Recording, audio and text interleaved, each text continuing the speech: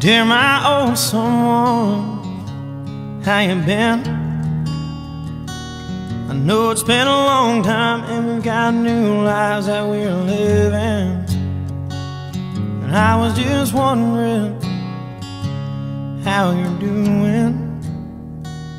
And if you're just like me, going through the motions. I tried everything, everybody.